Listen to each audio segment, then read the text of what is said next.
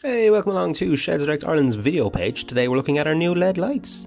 These guys are super handy. You can turn them on, off, or put them on auto mode. The auto mode will trigger this little dome, and when that detects human life, it'll illuminate automatically. It'll stay on for about 18 seconds after the last time it recognises any movement.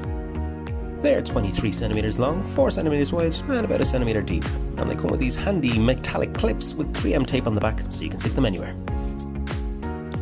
As you can see, they pop out of the magnetic holster very easily, and there's also screw holes there, so if you ever need to screw them in somewhere more secure, that's totally doable.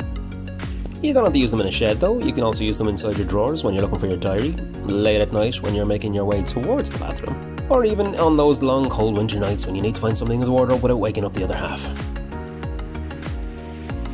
They're USB rechargeable, so you'll never be without power, and you can order one now online at shedsdirectireland.com or pop into our Finglas showroom and pick up one for yourself.